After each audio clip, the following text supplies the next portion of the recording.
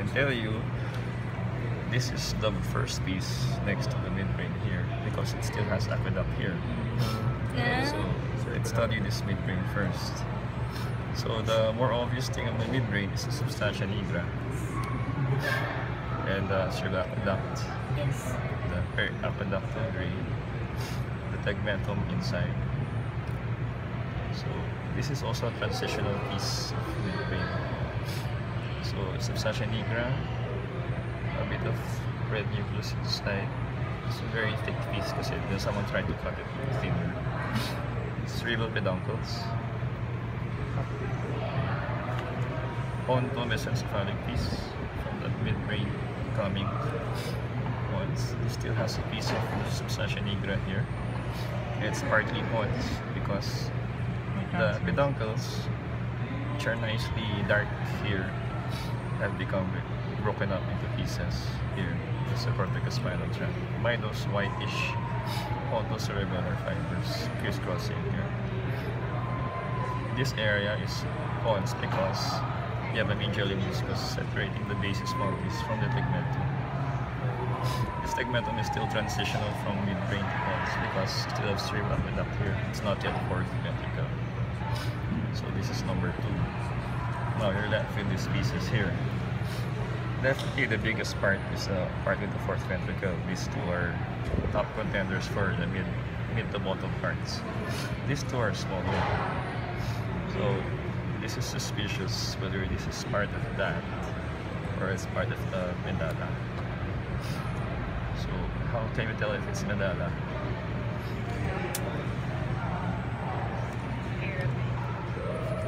But this isn't the pyramid. pyramid. These are peduncles. so it's not. It's actually it's a bit obliquely cut. So this is actually part here. So Ah. this is piece number two. Because of the peduncles. okay.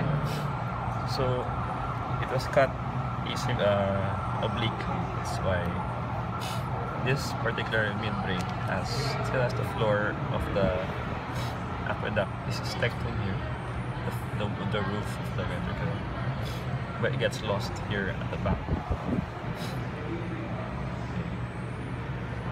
So this is definitely pons because of the pontocerebellar fibers. This I, they may have come from two different drains also. this may be the midbrain of the brain. This is the interpeduncular fossa uh, where you ha- look for the third nerve coming out here. You can actually still see it coming out uh, underneath the spia. So the interpeduncular fossa. What to see in this? The medial lemniscus, the substantia nigra, and this pons mesencephalic piece. So we're left with these two, these three pieces here. Identify medial lemniscus, basis pontis with the crisscrossing whitish pontocerebellar fibers and the dark corticospinal tract, the floor of the fourth ventricle,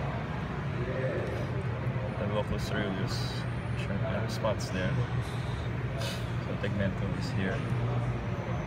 This appears to be part of uh, superior cerebellar peduncle. It's on top because on the sides would be the middle cerebellar peduncle. This part, this piece of pons, again, still see the major lemniscus, the crisscrossing pontocerebellar fibers which appear to be grouping again together. Comparing this piece and this piece, these are even more put together. So they're separated and now they're reuniting to form their pyramids. Between these two pieces,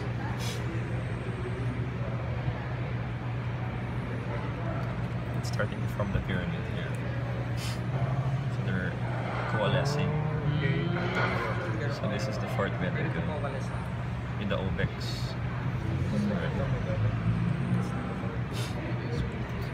So this is, the cut where the sixth and the seventh are supposed to be. You have a uh, prominent bump here, which is your facial colliculus on either side. This part is more rostral, is higher up. So when the pyramids start to form, so now you're left with these three pieces here. Now, uh, where is the pyramid here? The one with the olive? So you have an open medulla and a closed medulla Open here. So which is dorsal and which is ventral. And we go by size. It gets smaller and smaller to become the cord. This is the biggest and happens to still have obex there. Where your area postrema is. The area postrema and the hypoglossal nucleus are there. So when you vomit, you stick out your tongue. So these are the pyramids, which are the continuation of this, this coalescing fibers here. So they form the pyramids now. So pyramids go down, so they're dark. Here there's a gray matter, white matter structure inside the olive, your inferior olivary nucleus, and your tegmentum. So if you flip this piece around, it still looks the same.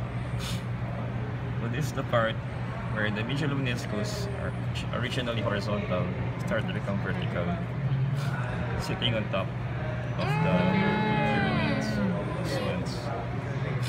So pyramids, olives, the medial lemniscus standing up, where it's lying down, standing up. So these are the areas where nucleus gracilis and the nucleus cuneata start to uh, form.